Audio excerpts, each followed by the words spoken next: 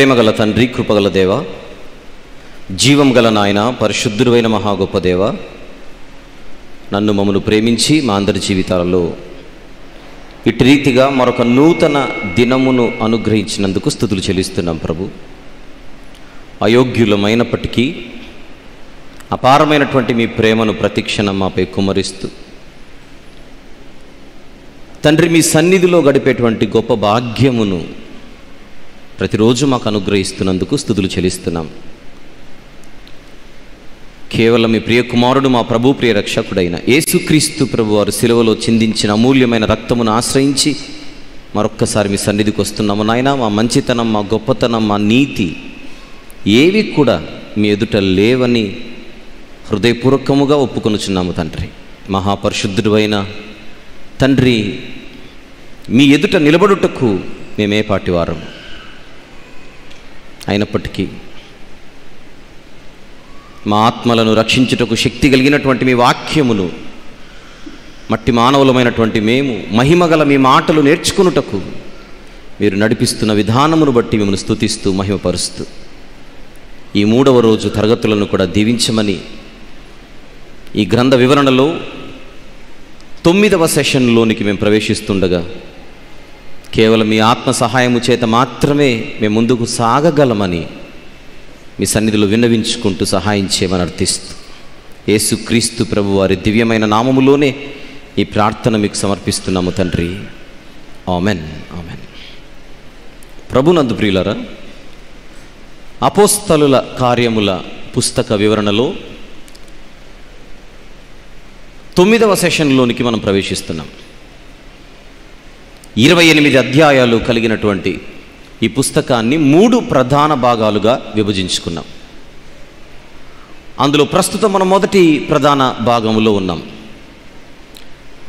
అది ఎరుషలేములో సంఘము మొదటి అధ్యాయం నుండి ఏడవ అధ్యాయం వరకు అని మనం మాట్లాడుకుంటూ వస్తున్నాం. అందులో భాగంగా నిన్న రాత్రి వరకు మొదటి అధ్యాయాన్ని మనం పూర్తి చేసుకున్నాం. ఇప్పుడు రెండవ అధ్యాయంలోనికి మనం ప్రవేశించాలి. ప్రవేశించుటకు ముందుగా మొదటి అధ్యాయములో ఒక విషయాన్ని మరలా ఒక్కసారి గమనించవలసిందిగా జ్ఞాపకం ఉంచుకోవలసిందిగా మనవి చేయాలని నేను ఇష్టపడుతున్నాను. అదేమిటో చూద్దాం. అపోస్తుల కార్యములు మొదటి అధ్యాయం. మొదటి వచనము నుండి పదకొండవ వచనం వరకు ఏ పోర్షన్ అయితే ఉందో ఏ పోర్షన్ అయితే ఉందో అందులో మనము తొమ్మిదవ వచనము చూడగలిగితే ఈ మాటలు చెప్పి వారు చూచుచుండగా ఆయన ఆరోహణమాయెను అనుంది. ఆరోహణమయ్యాడు అనేటువంటి విషయాన్ని మనసులో ఉంచుకొని సువార్త పుస్తకాలలో మార్కు సువార్త గ్రంథాన్ని మనం తీయగలిగితే మార్కు సువార్త.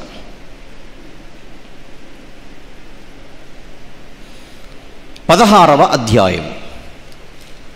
మార్కు సువార్త పదహారవ అధ్యాయం.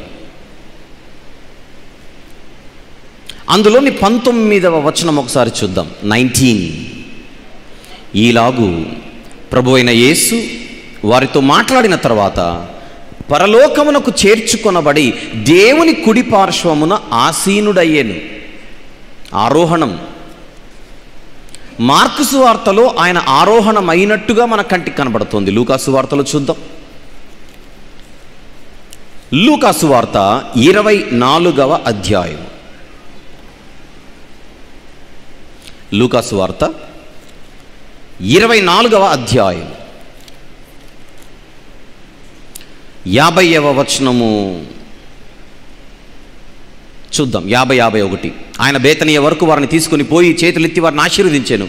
వారిని ఆశీర్వదించుచుండగా ఆయన వారిలో నుండి ప్రత్యేకింపబడి పరలోకమునకు ఆరోహణుడాయెను.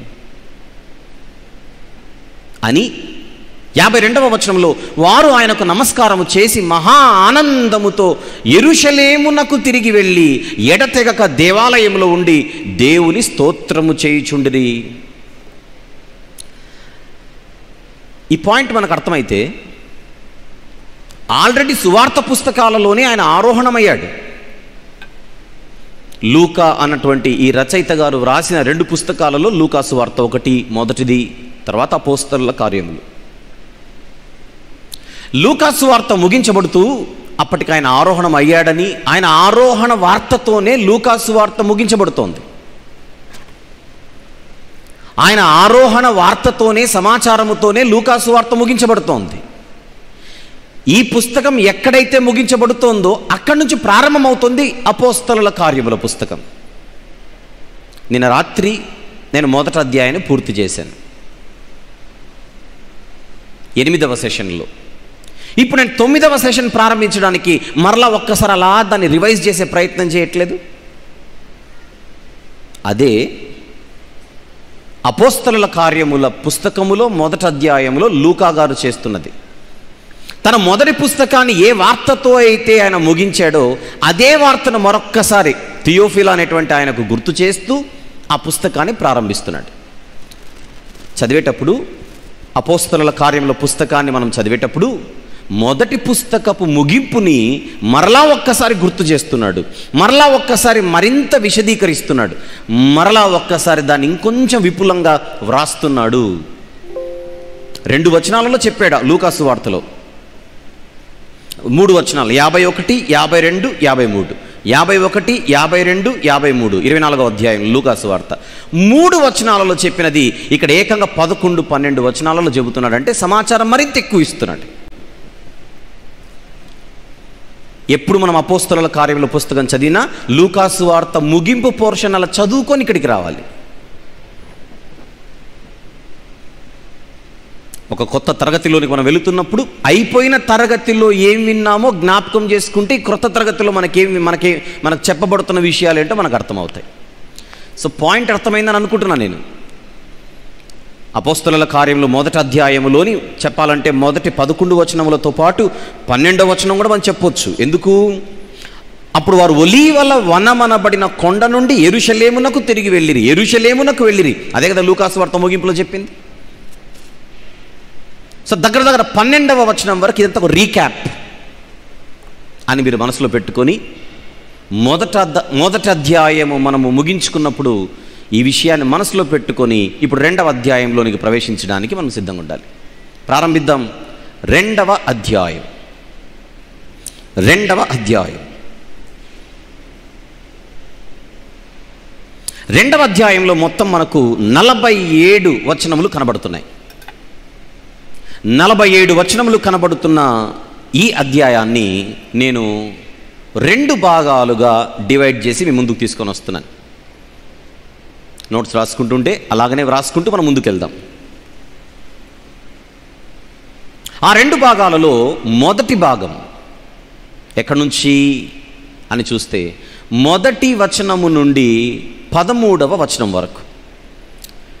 మొదటి వచనము నుండి పదమూడవ వచనం వరకు.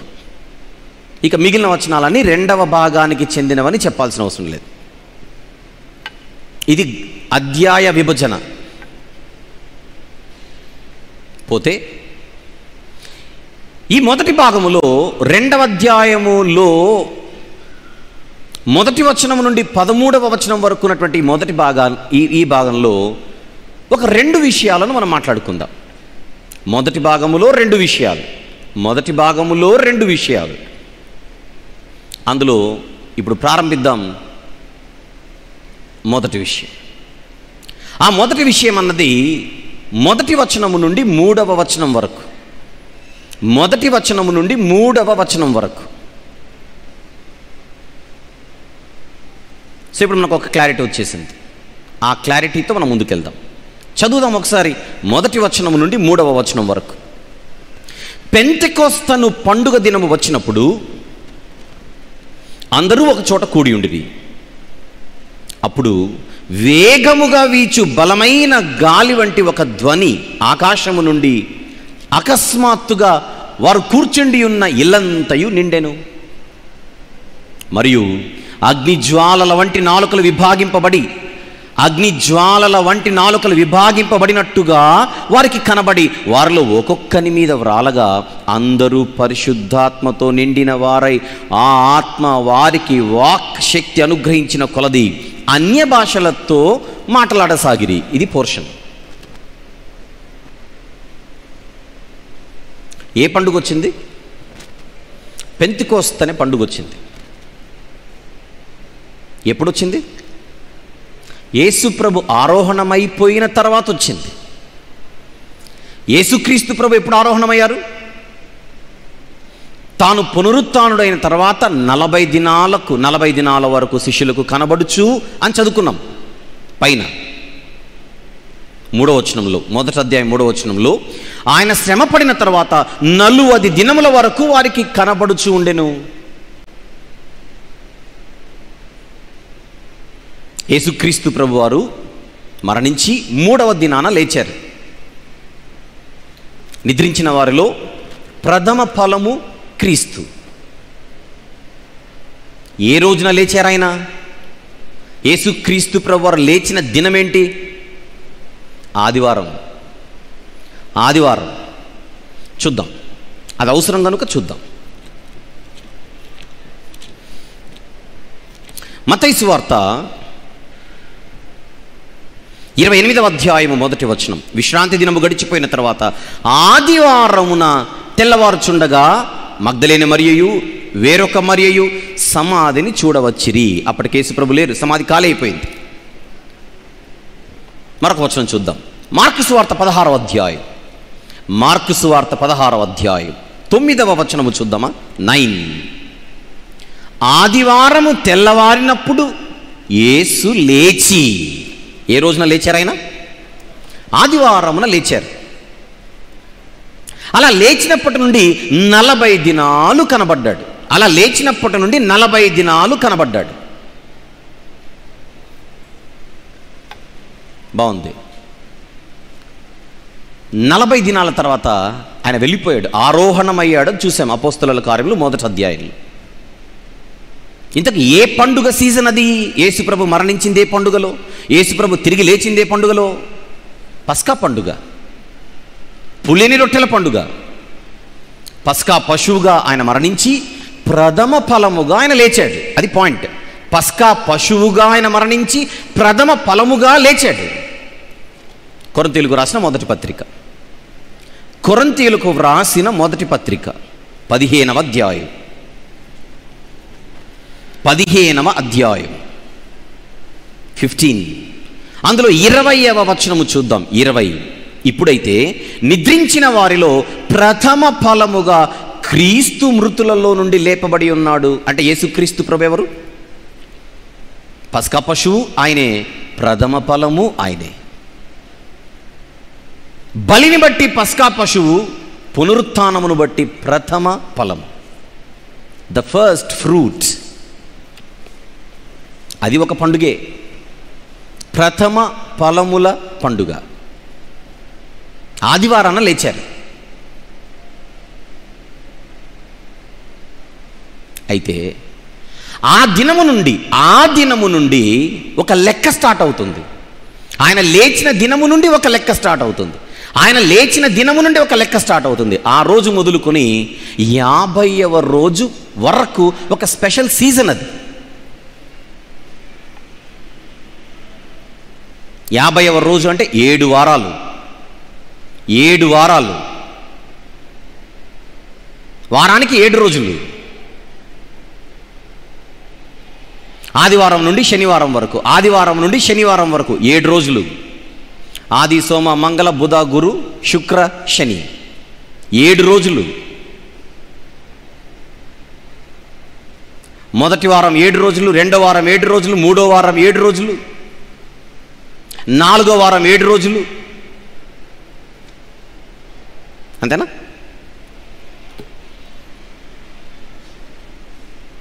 రైట్. అలా ఏడు వారాలు ఊహించుకోండి. ఏడు వారాలు ఊహించుకోండి.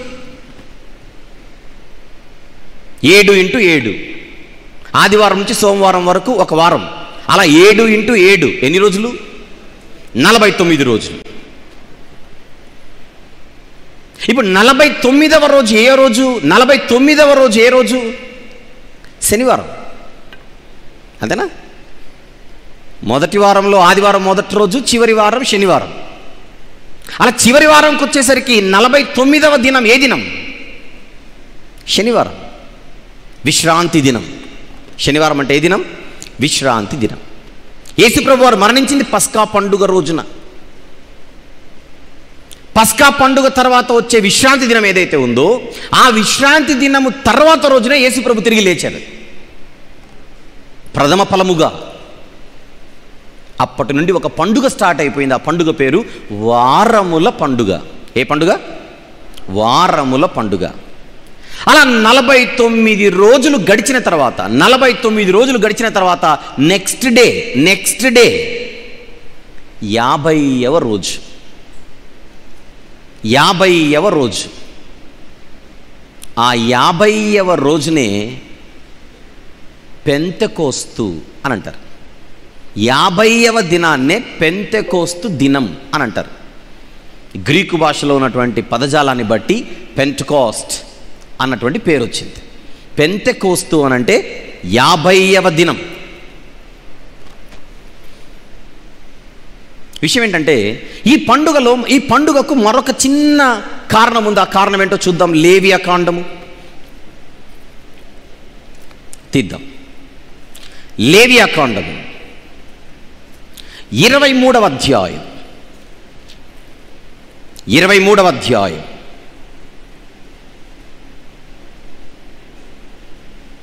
తొమ్మిది నుంచి చదువుకుంటూ వద్దాం. తొమ్మిది నుండి. కొంచెం ఎక్కువ వచనాలున్నా చదివే ప్రయత్నం చేద్దాం కొంచెం అర్థం చేసుకునే ప్రయత్నం చేద్దాం.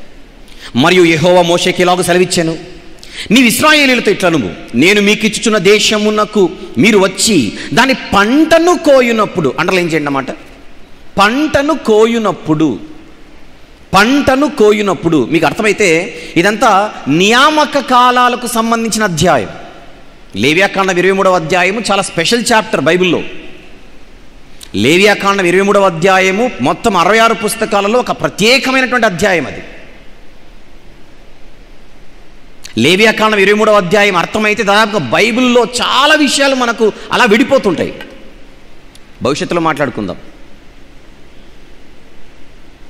ఒకసారి ఐదవ వచనం చూద్దాం కొంచెం అర్థం కావడానికి. ఐదవ వచనం. మొదటి నెల పద్నాలుగవ దినమున సాయంకాలం అందు యెహోవ పస్కా పండుగ జరుగును. పండుగ గురించి మాట్లాడుతున్నాడు. ఆరవ వచనం. ఆ నెల పదునైదవ దినమున యహోవాకు పొంగని రొట్టెల పండుగ జరుగును. పండుగలు. పస్కా పండుగ పొంగని రొట్టెల పండుగ అనగా పులియని రొట్టెల పండుగ. ఇప్పుడు తొమ్మిదవ వచనం. మరియు యెహోవా మోషేకి ఇలాగ సెలవిచ్చాను. నీ ఇస్రాయేలుడితో ఇట్లనుము నేను మీకు ఇచ్చుచున్న దేశమునకు మీరు వచ్చి దాని పంటను కోయినప్పుడు మీ మొదటి పంటలో ఒక పనను యాజకుని యొద్దకు తేవలేను. యహోవా మిమ్మును అంగీకరించినట్లు అతడు యహోవా సన్నిధిని ఆ పనను అల్లాడింపవలెను. విశ్రాంతి దినమునకు మరుదినమున యాజకుడు దానిని అల్లాడింపవలను. ఏ విశ్రాంతి దినమునకు మరుదినమున? ఏ విశ్రాంతి ఏ విశ్రాంతి దినమునకు మరుదినమున? పస్కా పండుగలో వచ్చే విశ్రాంతి దినం. అంటే భవిష్యత్తులో ఏదో ఒక అద్భుతమైనటువంటి సందర్భం సంఘటన చోటు చేసుకోబోతోంది. సుదూర దృష్టి సుదూర ఆలోచనలతో పాత నిబంధనలోనే ఒక ఛాయగా ఈ పండుగలు కనపడుతున్నాయి ఇవ్వబడుతున్నాయి. విశ్రాంతి దినమునకు మరుదినమున యాజకుడు విశ్రాంతి దినమునకు మరుదినమునే విశ్రాంతి దినమునకు ద నెక్స్ట్ డేనే విశ్రాంతి దినము ద నెక్స్ట్ డేనే. ఆ పనను అర్పించాలి. విశ్రాంతి దినమునకు మరుదినం దీన్ని మనసులో పెట్టుకొని మరలా ఒక్కసారి మత్తయి వార్త ఇరవై ఎనిమిది మొదటి వచనం లేవ్యాకాండం క్లోజ్ చేయకండి. లేవ్యాకాండం క్లోజ్ చేయకండి. మతైసు వార్త ఇరవై ఎనిమిదవ అధ్యాయము మొదటి వచనం మరలా. విశ్రాంతి దినము గడిచిపోయిన తరువాత ఆదివారం యేసుప్రభు యొక్క పునరుత్థానం లేవ్యాకాండం ఇరవై మూడులో ఉన్నటువంటి కనెక్షన్ అది. రైట్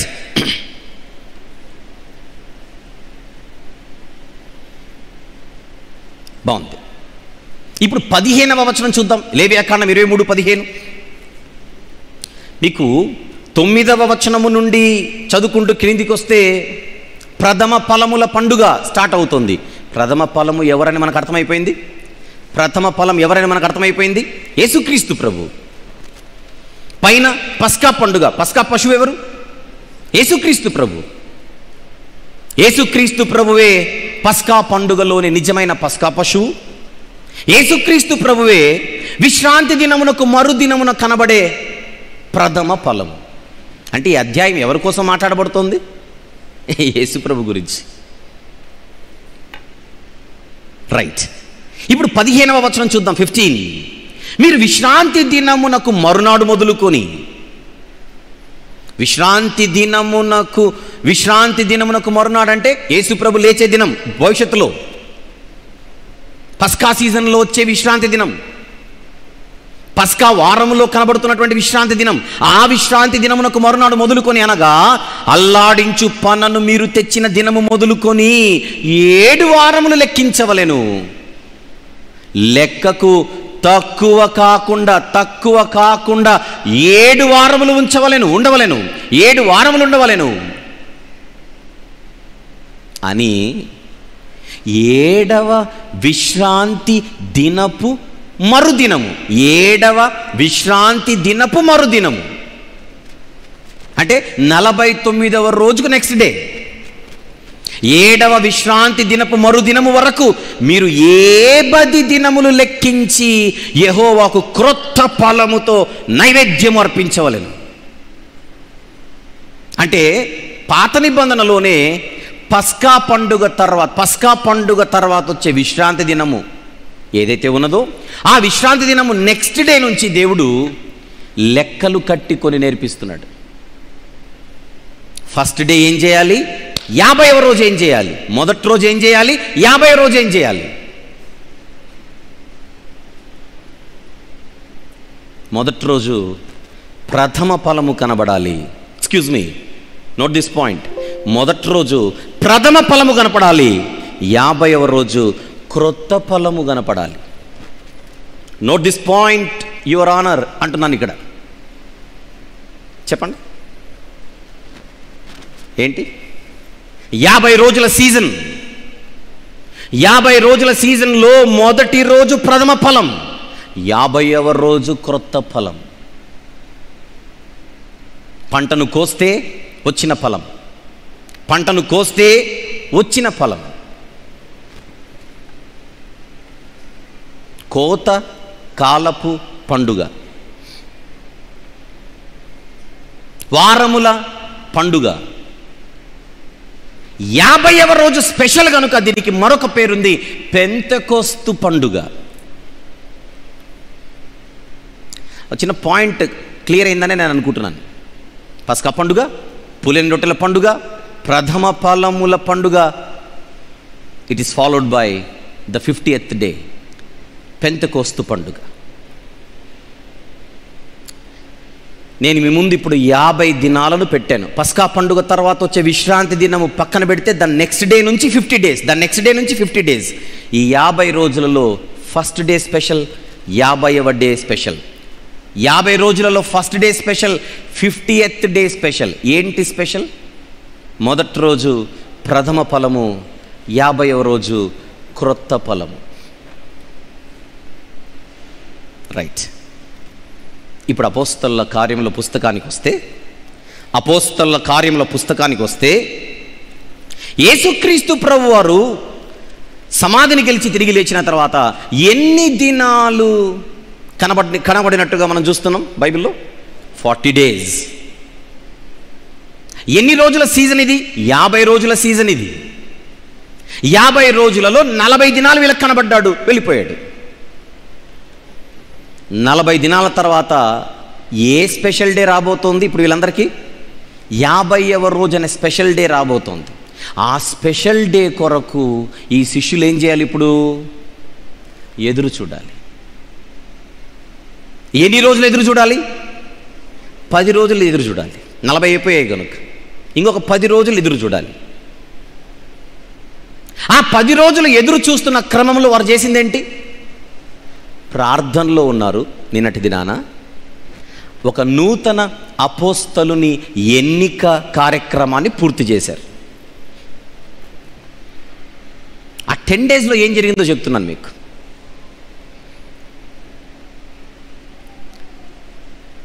అయితే ప్రార్థనలో ఉండడం ఒకప్పుడు మేడగదిలో ఆ పది రోజులు మేడగదిలో ఉన్నారు కిందికి దిగలేదు అనుకోకూడదు మీరు. పది రోజులు మేడగదిలో ఉన్నారు కిందికి కూడా దిగలేదు. కాదు. వారు ఎక్కడున్నారో కూడా ఇంతకంత సువార్త పుస్తకంలో చూసాం ఎక్కడున్నారని మనము చూసినట్టుగా కనబడుతోంది లూకా సువార్తల్లోనే ఇరవై నాలుగవ అధ్యాయము చివరి మాట. లూకా సువార్తల్లోనే ఇరవై నాలుగవ అధ్యాయంలోని చివరి మాట యాభై మూడవ వచనం. ఎడతెగక దేవాలయంలో ఉండి దేవుని స్తోత్రము చేయిచుండిరి. అది పాయింట్. అంటే యేసుప్రభు వెళ్ళిపోయిన తర్వాత మేడగదిని మాత్రమే కాదు ఊహించుకోవాల్సింది. దేవాలయాన్ని కూడా ఊహించుకోవాలి. ఇది పిక్చర్ కనపడుతుంది అయితే వెళ్ళిపోతున్నప్పుడు యేసుప్రభు వారు చెప్పిందేంటి? వెళ్ళిపోతున్నప్పుడు యేసుప్రభు వారు చెప్పిందేంటి? నాలుగో వచనంలో మొదటి అధ్యాయం అపోస్తల కార్యములు. ఆయన వారిని కలుసుకొని ఇలా ఆజ్ఞాపించను. మీరు ఎరుషలేము నుండి వెళ్ళక నా వలన వినిన తండ్రి యొక్క వాగ్దానము కొరకు కనిపెట్టుడి. తండ్రి యొక్క వాగ్దానము కొరకు కనిపెట్టుడి. యోహాను నీళ్ళతో బాప్తిస్మం ఇచ్చాను కానీ కొద్ది దినములలోగా మీరు పరిశుద్ధాత్మలో బాప్తిస్మము పొందుదురు. కొద్ది దినములలోగా కొద్ది దినములలోగా. ఒకవేళ యేసుక్రీస్తు ప్రభువారు ఆరోహణమయ్యే రోజు ఇక వెళ్ళిపోతున్నాడన్న రోజు ఈ మాటలు చెప్పాడని మనం అనుకుంటే అది నలభైవ దినం. ఇప్పుడు కొద్ది దినములలోగా అనగానే మనం లెక్క అర్థమైపోయింది. ఎన్ని దినాలు? Ten days. ఈ పది రోజులు మీరు ఎదురు చూస్తే నేను ముందు నుండి మీకు చెబుతూ వస్తున్న ముందు నుండి మీకు తెలియజేస్తున్నటువంటి ఇస్తున్నటువంటి వాగ్దాన నెరవేర్పు జరుగుతుంది. అది యాభైవ రోజు జరగబోయేది. పెంతెకోస్తు దినాన జరగబోయేది. పెంతకోస్తు దినాన ఏం జరగాలి? క్రొత్త ఫలాలు కనబడాలి. అదేనా లేవ్యాకాండ ఇరవై మూడులో? పెంతెకోస్తు దినాన ఏం జరగాలి? దేవుని సన్నిధిలో క్రొత్త ఫలాలు కనబడాలి.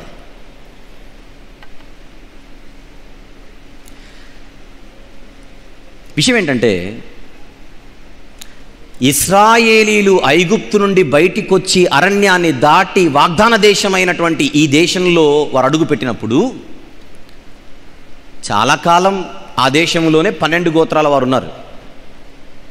కానీ తర్వాత వారు దారి తప్పినప్పుడు దేవుడు వారిని చెదరగొట్టాడు. అది పాత నిబంధనలో మనకు కనబడే చరిత్ర. క్రీస్తుపురం ఏడు వందల ఇరవై రెండులో అశ్షూరియులు పది గోత్రాల వారి మీద దాడి చేసినప్పుడు చెదిరిపోయారు ఇస్రాయేలీలు. ఎక్కడ చెదిరిపోయారు? నలుదిక్కుల చెదిరిపోయారు.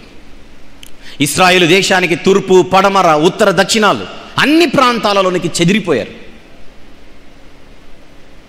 ఆకాశము క్రింద నుండు ప్రతి దేశములోనికి ఇస్రాయేలీలు మొత్తం స్కాటర్. క్రీస్తుపూర్వం ఐదు వందల ఎనభై ఆరులో యూదులపై బబులోనీలు దాడి చేసినప్పుడు మళ్ళీ చెదిరిపోయారు.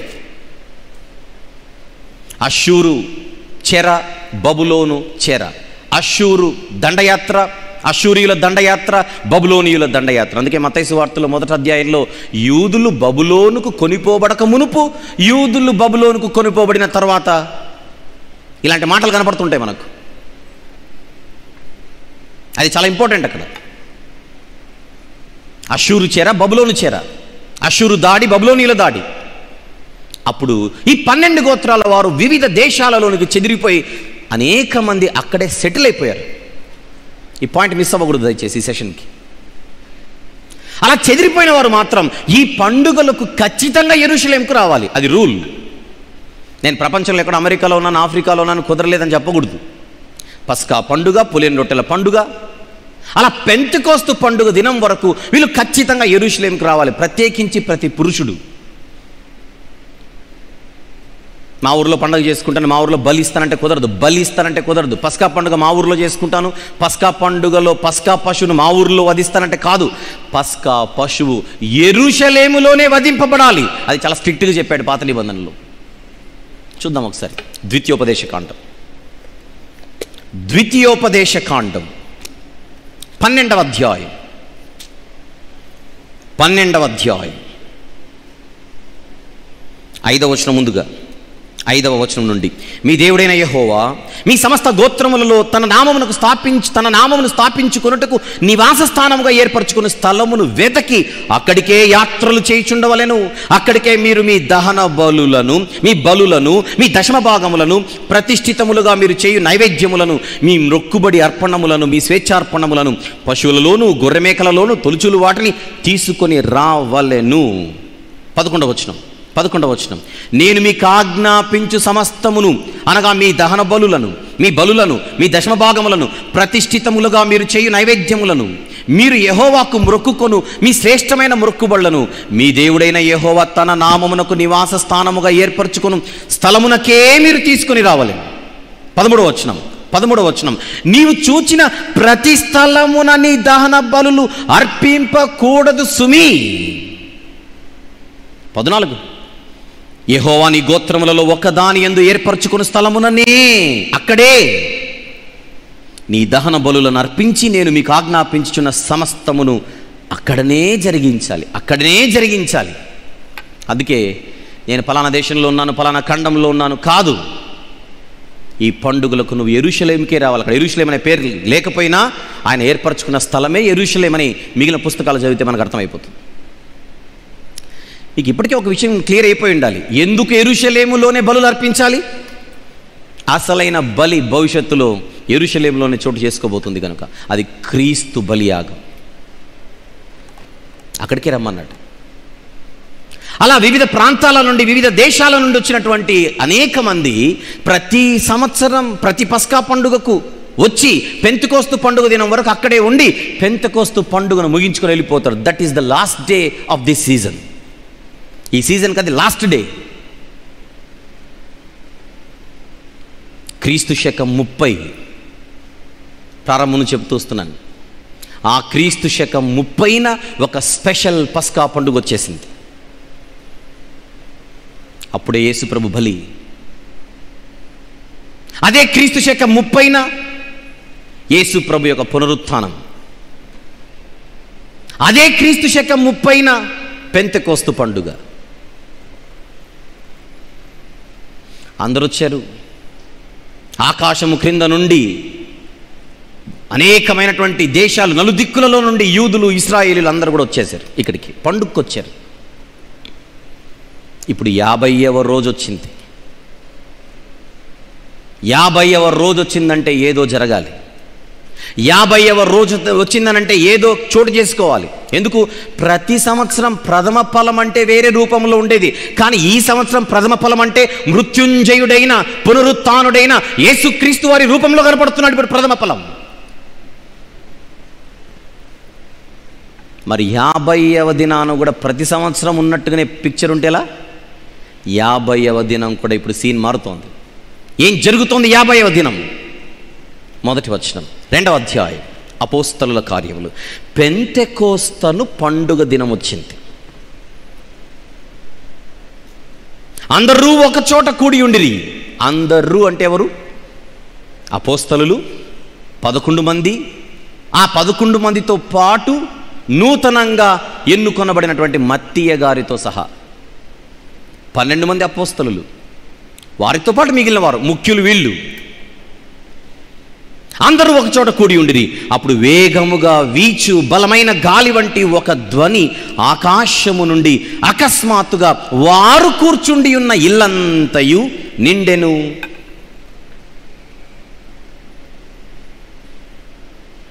మరియు అగ్నిజ్వాలల వంటి నాలుకలు విభాగింపబడినట్టుగా. ఏమో జరుగుతుంది ఇక్కడ ఇప్పుడు. పెంతికోస్తు పండుగ దినాన జరుగుతున్న కార్యక్రమం. ఒక్కసారిగా ఆ రోజున జరుగుతున్నటువంటి ఒక అద్భుతమైనటువంటి మహత్కార్యం. అప్పుడు వేగముగా వీచు బలమైన గాలి వంటి ఒక ధ్వని గాలి వంటి ఒక ధ్వని. ఆకాశము నుండి అకస్మాత్తుగా వారు కూర్చుండి ఉన్న ఇల్లంతయు నిండెను.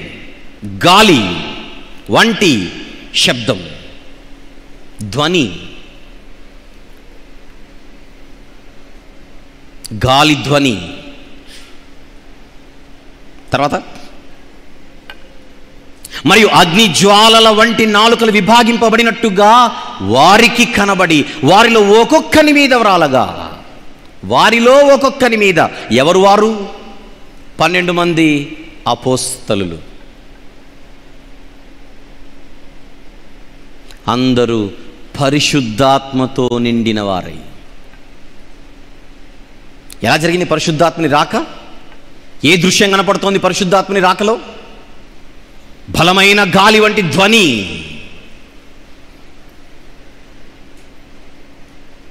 గాలి వంటి ధ్వని. సైలెంట్గా వస్తే ఎవరు తెలుస్తుంది? సైలెంట్గా వస్తే ఎవరు తెలుస్తుంది? సైలెంట్కి రాలేడా? సైలెంట్గా రాగలిగిన ఆయన సైలెంట్గా రాలేదు. వారి మీదకు తానొచ్చినట్టుగా మిగిలిన ప్రజలందరికీ తెలియాలి. మిగిలిన ప్రజలందరికీ తెలియాలి. కేవలం శబ్దం మాత్రమే కాదు ఒక రూపం దృశ్యం అగ్ని జ్వాలల వంటి నాలుకలు విభాగింపబడినట్టుగా వారికి కనబడెను. అగ్ని జ్వాలల వంటి నాలుకలు. కొన్ని సందర్భాలలో దేవుడు తన కార్యాలు చేయడానికి ఇలాంటి ఒక దృశ్యాన్ని తీసుకొని వస్తూ ఉంటాడని మనం బైబిల్లో చూడగలం. కుదిరితే పాత నిబంధనలో ఒకటి రెండు సందర్భాలను మనం చూసే ప్రయత్నం చేద్దాం. రాజుల మొదటి గ్రంథం.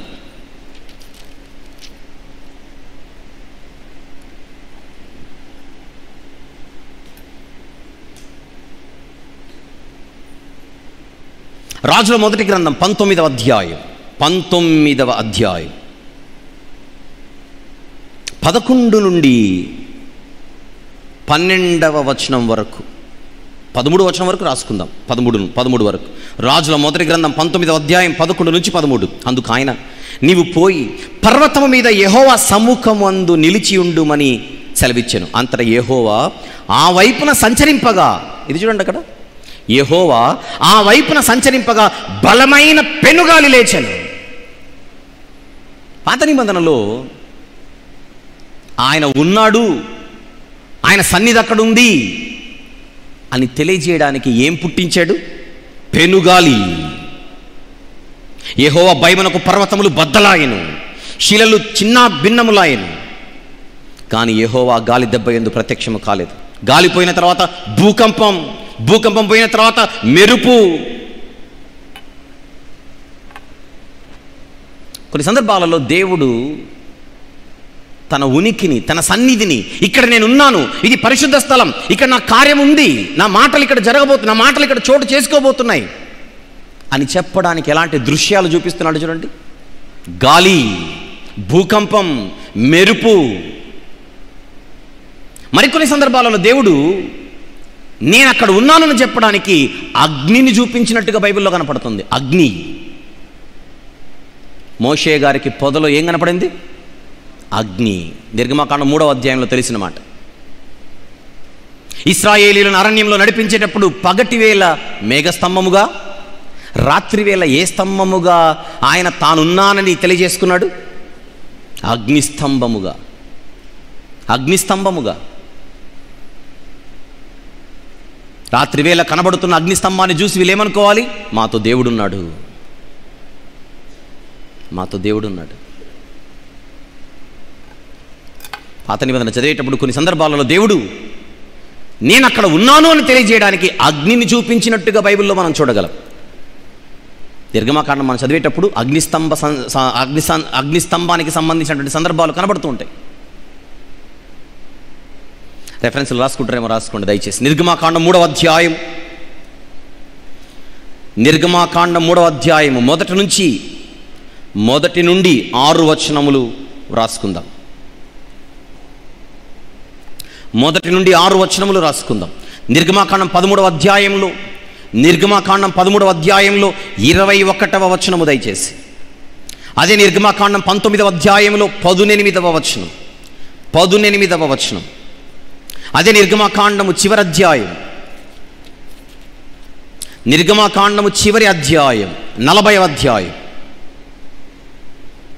ముప్పై ఎనిమిదవ వచనం. ముప్పై ఎనిమిదవ వచనం. ఈ వచనాలన్నీ మీరు చూస్తే అగ్ని రూపాన దేవుడు తన ఉనికిని చాటుకున్నాడు. యశాగ్రంథం నలభై. యెషయా గ్రంథం నాలుగు క్షమించండి. యెషయా గ్రంథం నాలుగవ అధ్యాయం. యెషయా గ్రంథము నాలుగవ అధ్యాయము. ఒక్కసారి ఐదవ వచనం చూద్దాం.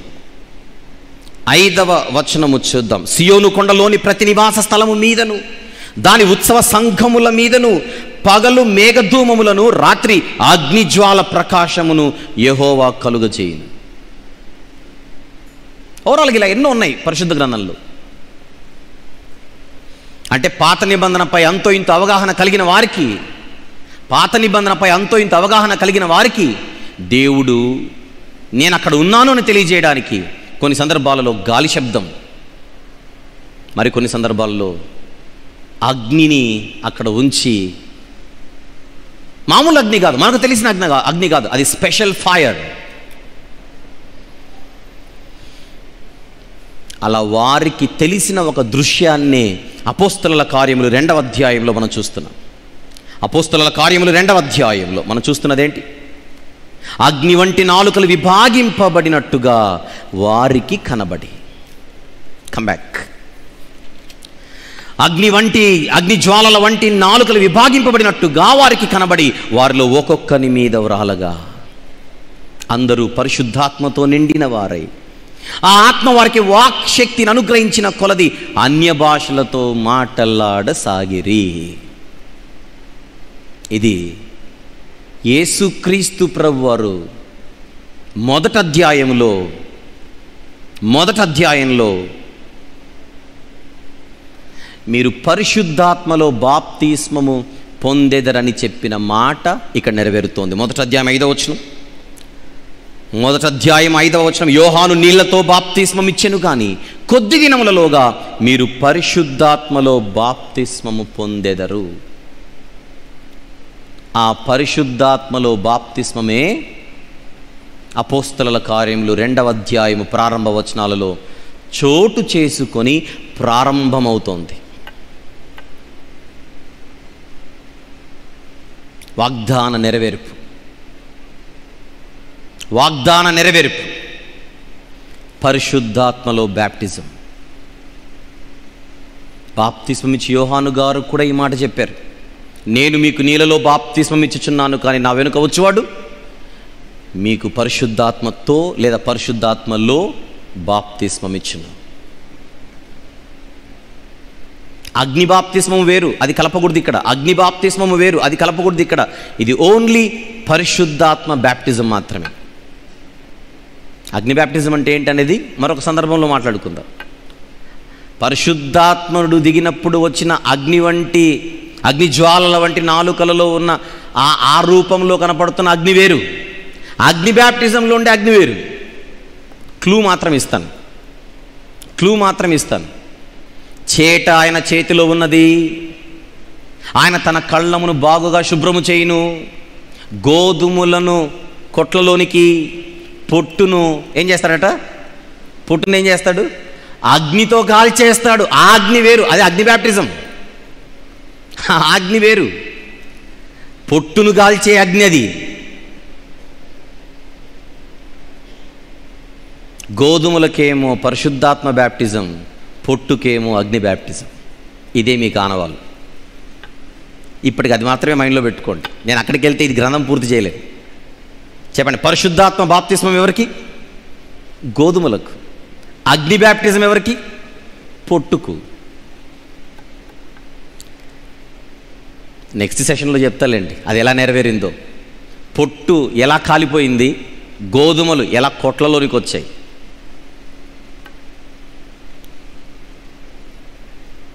రెండవ అధ్యాయంలో ఉన్నాం. నలభై ఏడు వచనములు. రెండు భాగాలు. అందులో మొదటి భాగం మాట్లాడుకుంటున్నాం. అందులో రెండు విషయాలు. అందులో మొదటి విషయం మాట్లాడుకుంటున్నాం. పరిశుద్ధాత్మ బాప్తిస్మము. పరిశుద్ధాత్ముడు దిగగానే పరిశుద్ధాత్ముడు దిగగానే వారికి వాక్ శక్తి వాక్ శక్తిని ఇచ్చాడు వారికి అనుగ్రహింపబడిన కొలది అన్య భాషలతో మాట్లాడసాగారు. అన్య భాషల గురించి నెక్స్ట్ విషయంలో మాట్లాడదాం. ఇక్కడితో మొదటి విషయము సమాప్తం. మొదటి భాగములోని మొదటి విషయము సమాప్తం. ఆన్ ద స్క్రీన్ చూడండి. పరిశుద్ధాత్మ బాప్తిస్మము baptism with the holy spirit ఇప్పుడు నెమ్మదిగా రెండవ విషయంలోనికి వెళ్దాం. రెండవ విషయంలోనికి వెళ్దాం. అది ఐదవ వచనము నుండి పదమూడవ వచనం వరకు. ఐదవ వచనము నుండి పదమూడవ వచనం వరకు.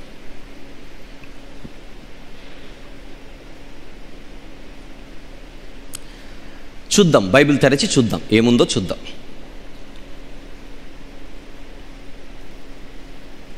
నాలుగవ వచనములో నేను మొదటి నుంచి మూడు వచనాలు అన్నానా?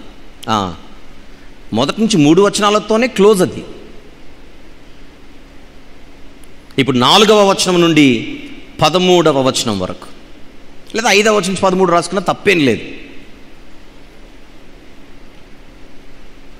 పరిశుద్ధాత్మ బాప్తిసం జరిగింది మూడవ వచనంలో. ఇప్పుడు నాలుగవ వచనంకి వచ్చేసరికి ఆయన దిగి దిగగానే వారికి ఏ శక్తినిచ్చాడు? ఏ శక్తినిచ్చాడు? వాక్ శక్తి. అపోస్తలుల కార్యముల పుస్తకములో పరిశుద్ధాత్ముని పనులను మనం గమనించాలని చెప్పాను ఫస్ట్లో.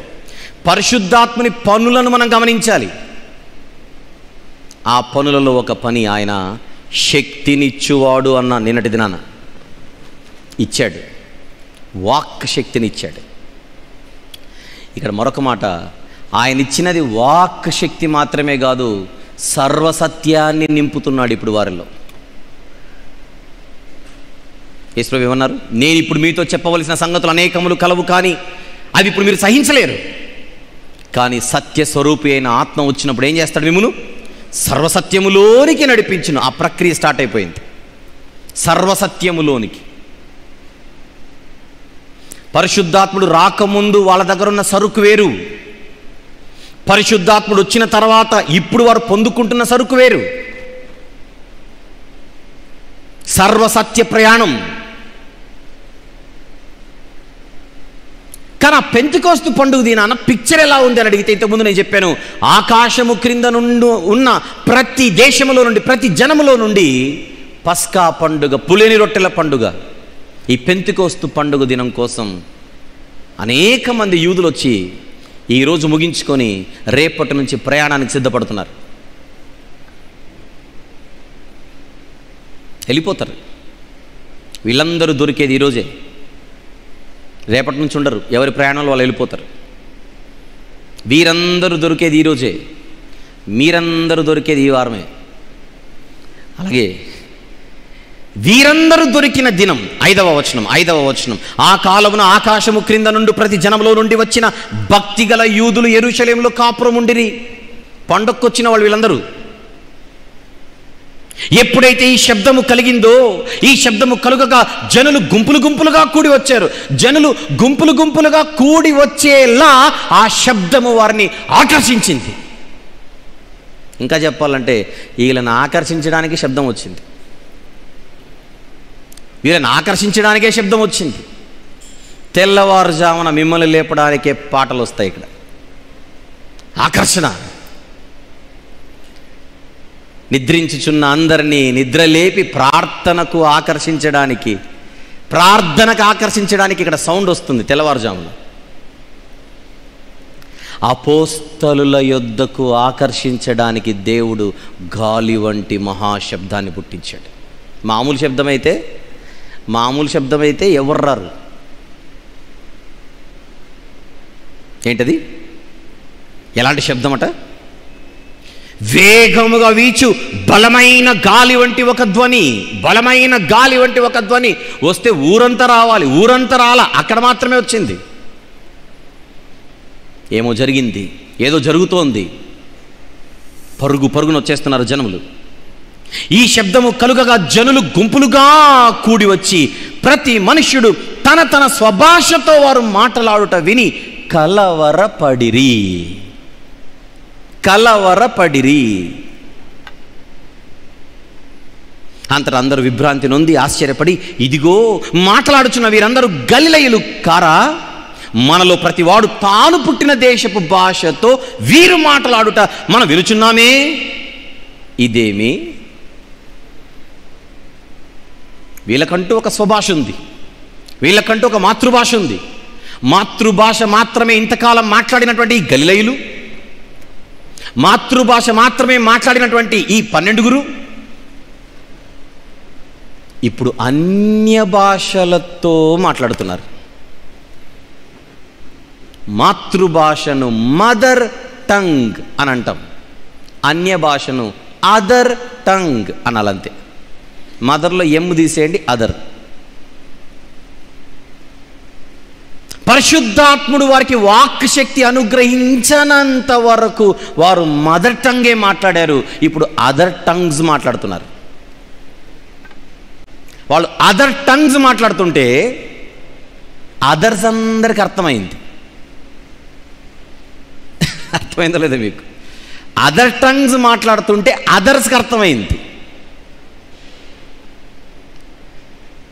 అదర్స్ ఎవరు? పార్తీయులు.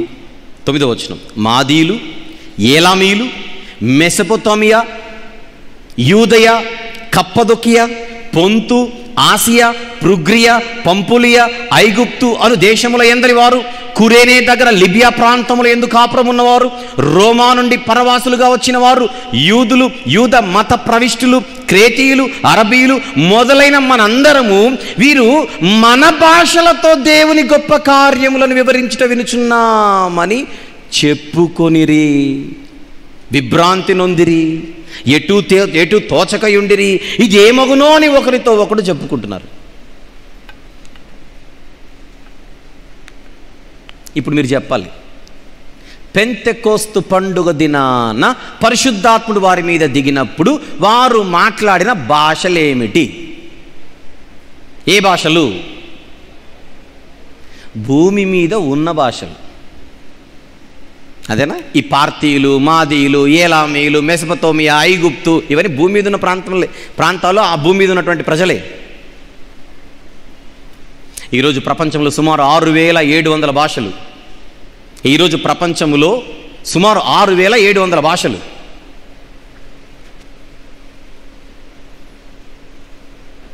ఈ పన్నెండు మంది అపోస్తలు ఈ ఆకాశము క్రింద నుండి ప్రతి జనములో నుండి వచ్చిన ఈ భక్తిగల యూదులు ఏ ప్రాంతాల నుండి అయితే వచ్చారో ఏ ప్రాంతాలలో నుండి అయితే వచ్చారో ఆ ప్రాంతాలన్నిటిన ఆ ప్రాంతాలన్నిటిలో తిరిగిన వారు కాదు వెళ్ళిన వారు కాదు ఉన్నవారు కాదు అక్కడ భాషలు నేర్చుకున్నవారు కాదు అక్కడ భాషలు మాట్లాడిన వారు కాదు. అయినా మాట్లాడేస్తున్నారు. అయినా మాట్లాడేస్తున్నారు. అది వాక్ శక్తి. పరిశుద్ధాత్ముడు అనుగ్రహించిన వాక్ శక్తి సరదా కోసం ఇవ్వలేదు. ఒక అద్భుతమైన గంభీరమైన పనుంది కనుక ఇచ్చాడు నాకు మలయాళం రాదు. నా ఆడియన్స్ అందరూ మలయాళం వచ్చిన వాళ్ళే అనుకోండి కాసేపు. ఇప్పుడు అర్జెంటుగా నేను కేరళకి వెళ్ళి స్పోకన్ మలయాళం. మూడు నెలల్లో మీకు కోర్సు. ఇప్పుడు నేను మూడు నెలలు కేరళకి వెళ్ళి మూడు నెలల్లో నేర్చుకొని ఫ్లూయెన్సీ సంపాదించి అది దేవుని వాక్యం చెప్పేంత స్థాయిలో పట్టు సంపాదించి మూడు నెలలు మీరు ఇక్కడే ఉండండి నాలుగో నెలలు నేను మీ దగ్గరకు వాళ్ళు ఉంటారా? వాళ్ళు రేపు వెళ్ళిపోతారు లగేజ్ సర్దుకున్నారు రెడీగా లగేజ్లు సర్దుకున్నారు రెడీగా మరి రేపటిలోగా ప్రపంచ నలుదిక్కలలో ఉన్న భాషలన్నీ వీళ్ళు ఎక్కడికి వెళ్ళాలి ఎప్పుడు నేర్చుకోవాలి? ఎక్కడికి వెళ్ళాలి ఎప్పుడు నేర్చుకోవాలి? నో టైం అందుకే పరిశుద్ధాత్ముడు ఫీజు తీసుకోకుండా ఒక్క రోజులో నేర్పించేశాడు. ఏంటిది? లాంగ్వేజ్ కోర్స్ ఉచితముగా అపోస్తలు ఎలా పొందారు? ఈ శక్తిని అంతటిని ఎలా పొందారు? ఉచితముగా. భవిష్యత్తులో వీరు ఉచితముగా ఇక్కడ పొందారు కనుక భవిష్యత్తులో వీరు ఉచితముగా ఇవ్వాలి. అది తర్వాత మాట్లాడుకుందాం. క్లూ ఇస్తున్నాను అంతే. ఉచితంగా పొందిన వారు ఉచితంగా రేపు పొద్దున వారు చేయాల్సిన పనులు కొన్ని ఉన్నాయి. ఒక పాయింట్ అయితే మీరు ఆలోచించండి. ఎందుకు వారికి వాక్ శక్తిని ఇచ్చాడు? రీజన్? అక్కడ ఉన్న వాళ్ళందరూ వివిధ భాషలు మాట్లాడేవారు. అక్కడ ఉన్న వాళ్ళందరూ వివిధ ప్రాంతాల నుంచి వచ్చినవారు. కొన్ని ప్రాంతాలు తూర్పు కొన్ని ప్రాంతాలు పడమర కొన్ని ప్రాంతాలు దక్షిణం కొన్ని ప్రాంతాలు ఉత్తరం. ఏ ప్రాంతాలు తూర్పుకు చెందినవి? ఏ ఏ ప్రాంతాలు ఉత్తరం? ఏ ప్రాంతాలు దక్షిణం? ఏ ప్రాంతాలు పడమర? ఒకసారి చూద్దాం. నేను చెబుతుండగా అలా మీరు మీ శైలిలో మీరు ఎక్కడ నోట్ చేసుకుంటారో చేసుకోండి. తొమ్మిదో వచనం. పార్తీయులు మాదీయులు ఏలామీయులు మెసపతోమియా. పార్తీయులు మాదీయులు ఏలామీయులు మెసపతోమియా తూర్పు. అక్కడ వరకు తూర్ అక్కడ వరకు ఈస్ట్. తూర్పు నుంచి వచ్చిన వారు. యూదయ లోకల్. యూదయ లోకల్. ఎందుకంటే ఎరుషులేం యూదయలోనే ఉందిగా? నెక్స్ట్ కప్పదొకియ పొంతు ఆసియా పృగ్రియ పంపూలియా. ఉత్తరం. కప్పదొకియ పొంతు ఆసియా పృగ్రియ ఉత్తరం నార్త్. తర్వాత ఐగుప్తు అను దేశముల ఎందలి వారు? ఐగుప్తు ఐగుప్తు పదవచనం. కురేనే దగ్గర లిబియా. ఐగుప్తు కురేనే దగ్గర లిబియా దక్షిణం. ఐగుప్తు కురేనే దగ్గర లిబియా దక్షిణం. సౌత్. రోమా నుండి పరవాసులుగా వచ్చిన వారు పదకొండవ వచ్చిన క్రేటీయులు రోమా నుండి పరవాసముగా వచ్చిన వారు రోమ్ క్రేతు పడమర వెస్ట్ రోమ్ రోము రోమా క్రేతు వెస్ట్. ఎక్కడెక్కడ నుంచి వచ్చారు చెప్పండి ఇప్పుడు ఎరుషులేం ఈస్ట్ వెస్ట్ సౌత్ నార్త్. ఎవరొచ్చారు? యూదులు యూద మత ప్రవిష్టులు. అండ్ అరబ్స్ కూడా ఉన్నారు అరబీయులు కూడా ఉన్నారు అరబీయులు కూడా ఉన్నారు. అరబీయులను కాసేపు మనం సౌత్లోకి వేసుకోవచ్చు. అరబీయులను కాసేపు మనం సౌత్లోకి వేసుకోవచ్చు. సౌత్ ఈస్ట్ సౌత్ ఈస్ట్ ప్రాంతం. రైట్. నలు దిక్కుల నుండి వచ్చిన వారు నలుదిక్కులలోనికి వెళ్ళిపోతున్నారు ఇప్పుడు. నలుదిక్కుల నుండి వచ్చిన వారు నలు దిక్కులలోనికి వెళ్ళిపోవాలి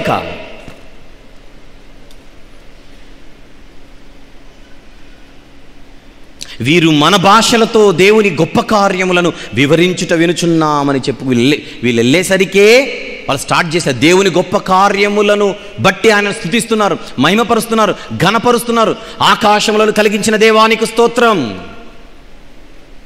ఆయన చేసిన కార్యములన్నిటినీ ఒక్కొక్కరు ఒక్కొక్క విధముగా నెమరు వేసుకుంటూ వివరించుకుంటూ దేవుణ్ణి ఓ స్థుతిస్తున్నారు ఇప్పుడు అవసరం లేకపోయినా మనం రాబోయే సెషన్స్లో మాట్లాడుకుంటామని తెలిసినా ఒక వచనాన్ని ఇక్కడ చూపించే ప్రయత్నం చేస్తాను. అపోస్తుల కార్యములలోనే పదవ అధ్యాయం. ఇదంతా యూదుల గురించి. రెండవ అధ్యాయంలో యూదుల గురించి. పదవ అధ్యాయంలో కొర్నేలి ఇంటి దగ్గర చోటు చేసుకుంటున్న సందర్భం ఇది. పరిచయం. అక్కడ కూడా ఏం జరిగిందో చూద్దాం. నలభై నాలుగు నుండి నలభై ఆరు. నలభై నాలుగు నుండి నలభై ఆరు. పేతురు ఈ మాటలు ఇంకా చెప్పుచుండగా అతని బోధ విన్న వారందరి మీదకి పరిశుద్ధాత్మ దిగెను. సున్నతి పొందిన వారిలో పేతురుతో కూడా వచ్చిన విశ్వాసులందరూ పరిశుద్ధాత్మ వరము అన్యజనుల మీద సైతము కుమ్మరింపబడుట చూచి విభ్రాంతి నొందిరి. ఏలైనగా వారు భాషలతో మాట్లాడుచు దేవుని గణపరచుచుండగా వీనిని భాషలతో మాట్లాడుచు దేవునిని గణపరచడం భాషలతో మాట్లాడుచు దేవునిని గణపరచడం ఇక్కడ అదే రెండవ అధ్యాయంలో. భాషలతో మాట్లాడుచు భాషలతో మాట్లాడుచు. పదకొండవ వచనంలో దేవుని గొప్ప కార్యములను వివరించుచున్నారు.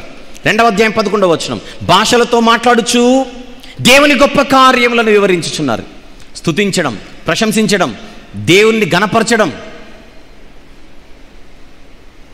వచ్చిన వారందరూ వింటున్నారు ఇదంతా. అర్థం కావట్లేదు. అంతకుముందు ఎప్పుడు ఎన్నడు కని విని ఎరుగని ఒక దృశ్యాన్ని వీళ్ళు చూస్తున్నారు ఇప్పుడు. అందరూ విభ్రాంతి నొంది ఎటు తోచక ఇదే మగునో? అని ఒకనితో ఒకడు చెప్పుకొనిరి. అందులో కొందరు ఉంటారు ఎంత గొప్పది జరుగుతున్నా చూపులు మాత్రం నెగిటివిటీ. నెగిటివ్ మైండ్తోనే చూస్తుంటారు. నెగిటివ్ మైండ్ సెట్తోనే చూస్తుంటారు.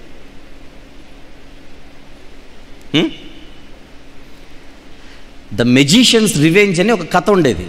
ద మెజీషియన్స్ రివెంజ్ స్టేజ్ మీద మ్యాజిక్ షో చేసే ఆయన. మనందరికీ తెలుసు అది నిజాలేం కాదు.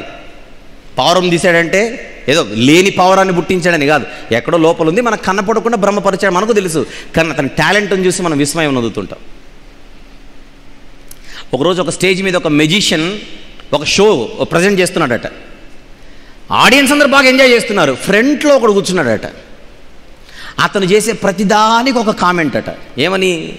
ఏ ఉత్తిదే పావురం తీస్తే పావురం ఏం తీయలేదు అది లోపల ఉంది జాకెట్లో. అందరికీ తెలుసు అది.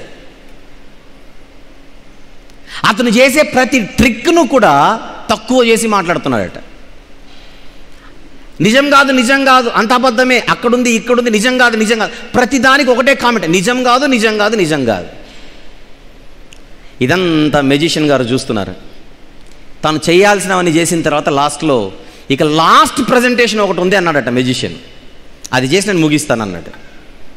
అప్పుడు కామెంట్లు చేస్తున్నటువంటి అతన్ని చూసి సార్ మీ చేతికి వాచ్ ఉంది కదా ఒకసారి ఇస్తారా? అని అడిగాడు. ఓ వై నాట్ అని ఇచ్చాడు. ఇప్పుడు చూడండి మీ కళ్ళ మీ మీ అందరి కళ్ళ ఎదుట నేను ఈ వాచ్ పగలగొడుతున్నాను. అని తన దగ్గర ఉన్న సుత్తెని తీసుకొని పడేల్ పడేల్ అని ఐదు దెబ్బలేసి పగలగొట్టాడు. పగిలిందా లేదా? అనేసరికి అందరు పగిలింది పగిలింది పగిలింది. ఫ్రంట్ నోడు మాత్రం అబ్బెబ్బే ఉత్తిదే నిజం కాదంటే ఉత్తిదేం కాదు సార్ కాస్త చెక్ చేసుకోవడానికి ఇచ్చేసి వెళ్ళిపోయాడు. ఉత్తిదేం కాదు సార్ కాస్త చెక్ చేసుకోవడం ఇచ్చేసి వెళ్ళిపోయాడు. ఈసారి నిజంగానే పగలగొట్టి ఉత్తిదేం కాదు ఇది నిజమే ఓవర్ యాక్షన్ చేయకుండా ఇంటికి వెళ్ళిపో అన్నాడు అంతే. అంటే అర్థం ఏంటి? అంతవరకు తాను చేసినవని నిజాలు కాదు నిజాలు కాదంటే వాడి వాచే తీసుకొని వాడి వాచే పగలగొట్టి ఇది నిజమే అని ఇచ్చి పంపించేశాడు. అదని ద మెజిషియన్స్ రివెంజ్ అని చిన్నప్పుడు కథ. రివెంజ్ అంటే ప్రతీకారం అన్నమాట. గారడీవాని ప్రతీకారం అని పాయింట్ అది.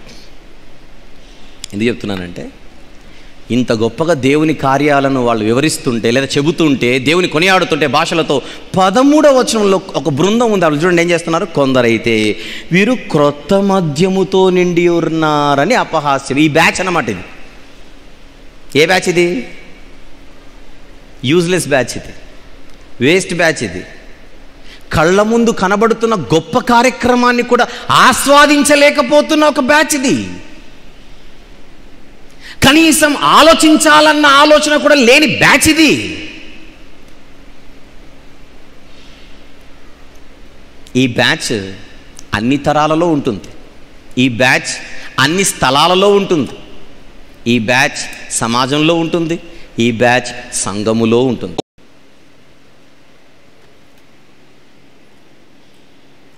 ఇదే మగునో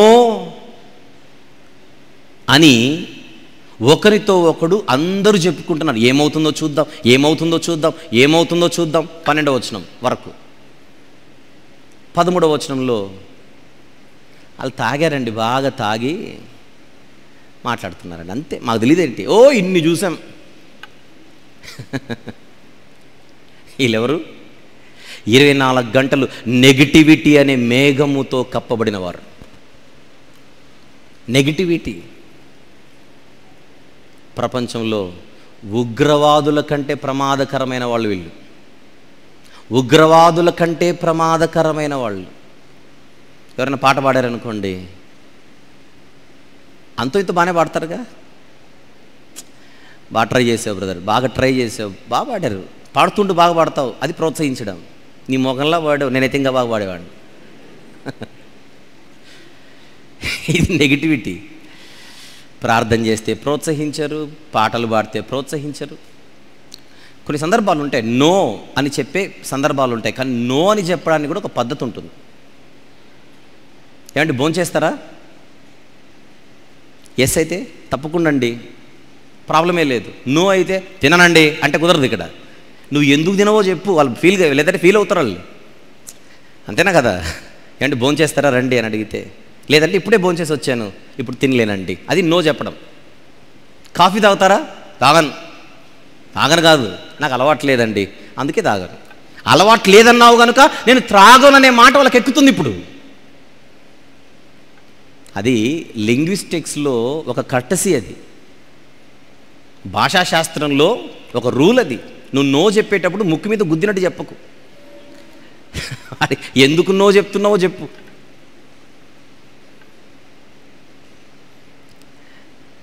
మీరు పెళ్ళికి తప్పకుండా రావాలంటే.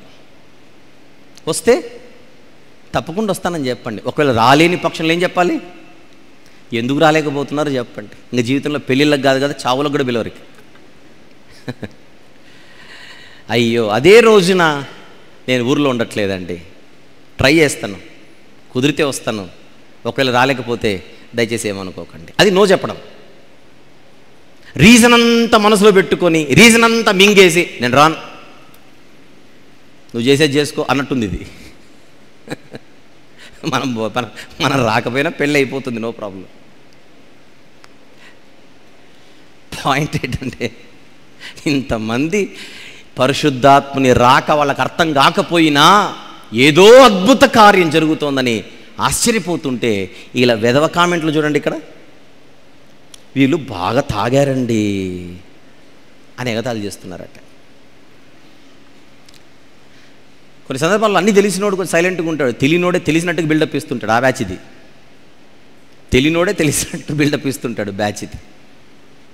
కానీ యూదులందరి మధ్య ఇది అపోస్తలు ప్రభును గుర్చిస్తున్న సాక్ష్యం స్టార్ట్ అవుతుంది.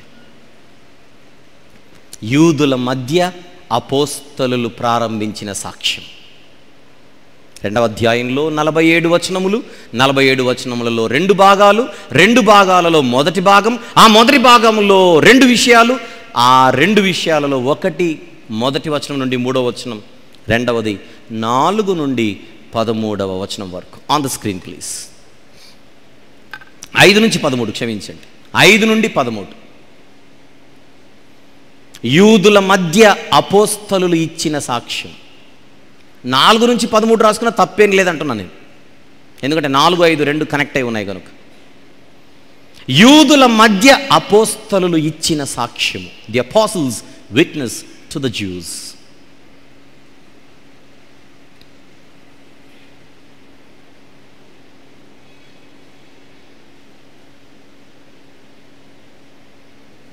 ఒకసారి మొదటి విషయం కూడా చూపించు.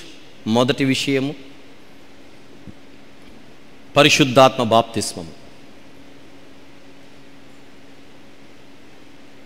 అధ్యాయంలో మొత్తం నలభై ఏడు వచనములు చూపించి. రెండు భాగాలు. ఇప్పుడు మనం మాట్లాడుకునిచ్చినది మొదటి భాగం. ఒకటి నుంచి పదమూడు వచనాలు అవి. అందులో రెండు విషయాలు. మొదటి విషయం పరిశుద్ధాత్మ బాప్తిస్మం. రెండవ విషయం యూదుల మధ్య అపోస్తలు ఇచ్చిన సాక్ష్యం. నన్ను చూపించు.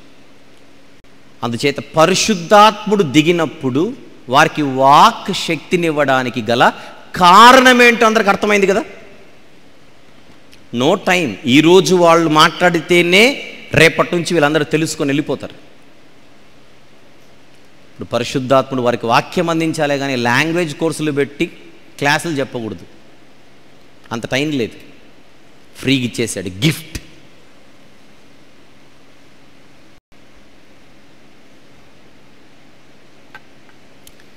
ఒకవేళ మన మధ్య ఎవరైనా ఆయన పేరు చెప్పి నజబజ జజర చెంపకమాలు అన్నారనుకోండి ప్రపంచంలో ఏ దేశంలో ఉంది ఈ భాష అని అడగాలి ఇప్పుడు మనం. ప్రపంచంలో ఈ భాష ఏ దేశంలో ఉంది? నువ్వు మాట్లాడే భాష ఆరు వేల ఏడు వందల భాషలలో భూమి మీద ఉన్న ఇన్ని భాషలలో అది ఏదో ఒక ప్రాంతానికి చెందిన భాష అయి ఉండాలి.